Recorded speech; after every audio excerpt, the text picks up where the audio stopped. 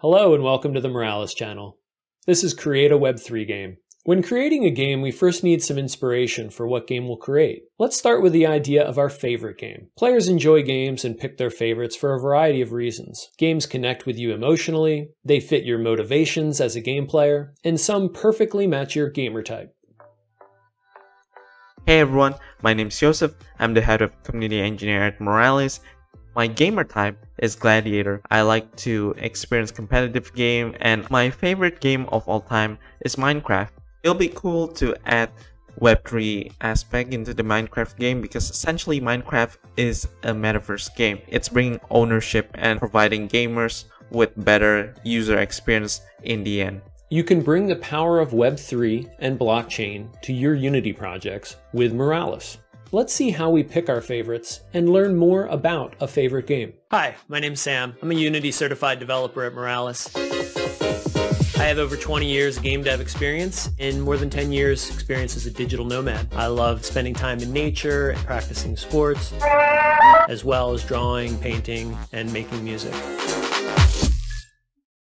Each player's game motivations and their gamer type will help determine what are their favorite games. Bartle's taxonomy includes socializers, explorers, achievers, and killers.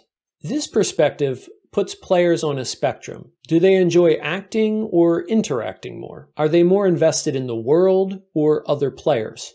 The latest research from Quantic Foundry has identified 12 gamer motivations, which determine the nine gamer types. Following this, we see that your motivation defines your type, which defines which game or games would be your favorites. The gamer motivation includes what are the aspects of gameplay that really resonate with the player. These include destruction, in-game excitement, competition between players, and more. Where do you see yourself in these motivations? Then from those motivations, you can find your gamer type. Most players have one type or perhaps two. My types include Acrobat, with challenge and discovery being motivations there, as well as the Slayer type, where having a story-driven experience is important to me. Which of these gamer types in orange do you think work for you. At quanticfoundry.com, I put a link in the description to the specific survey. You can answer a few key questions and find out what your motivations are and what is your gamer type. Check that out. And in addition to the perspectives we've seen there from Bartle's taxonomy, as well as Quantic Foundry, with fresh eyes we look at Web3 and we see us as players along a spectrum, including investors, earners, and traditional players. So what's your favorite game? I asked friends and coworkers. Let's see one example of a favorite game. Hey everyone, my name is Yoseph. I'm the head of community engineer at Moralis, and my responsibility in the team is essentially to provide help and support to the Moralis community through Discord, forum, and sometimes hackathon if we sponsor any. And in my free time, I like to read books, binge watching some Netflix, and also travel around the world from time to time. My gamer type is Gladiator because essentially I like to experience competitive game and I like those games to engage me in a lot of the features that is offered directly to me. My favorite game of all time is Minecraft because Minecraft allows you to explore a lot of its different realms such as end realms, nether realms and etc.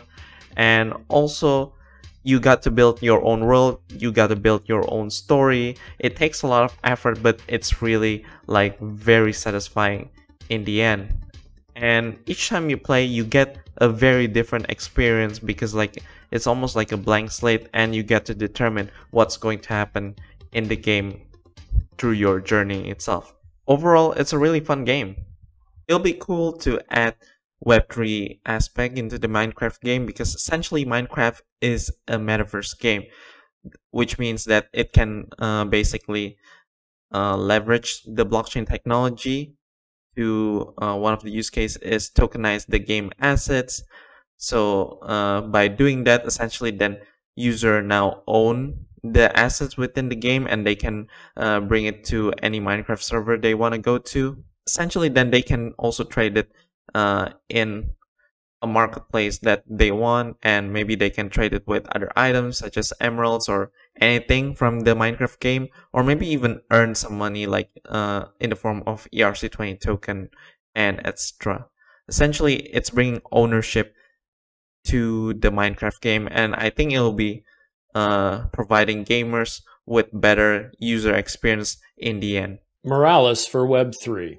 Moralis is a full set of APIs that connect any tech stack to the blockchain networks, and Moralis offers SDKs for many popular platforms. SDK support includes React Native, gaming SDKs like Unity, and the web as well. Moralis is cross-chain, and Moralis addresses the needs of Web3 games and dApps, including authentication and working with smart contracts. It's fully compatible with Web3 tools and services, and integrates with your favorite backend systems. And for gaming, Moralis brings the power of Web3 to your favorite game platforms. Unity's flexible development offers amazing opportunities to create top quality games and interactive experiences. You can bring the power of Web3 and blockchain to your Unity projects with Moralis. And Moralis includes complete learning resources, including full documentation and project information, workshops, YouTube videos like this one, and everything you need to get started. With inspiration, like today's favorite game, together with Moralis, what will you build next? Moralis offers world-class Web3 workshops. Level up your Web3 development skills by building along to unique projects. Check it out today and join our next workshop. We've seen that when creating a new game, we can be inspired by our favorites. Our favorites are determined by our motivations and our unique player type, and each of our favorite games can be improved and expanded with Web3 functionality. Using the Moralis SDK and your favorite development platform or game engine, you can use that inspiration and get started on your next project today. Let me know in the comments below your answer to this question. It's your comments and feedback that help drive the types of content we create. To enjoy more content like this, like, subscribe, and click that notification bell. Check out docs.moralis.io to get started today. Thanks.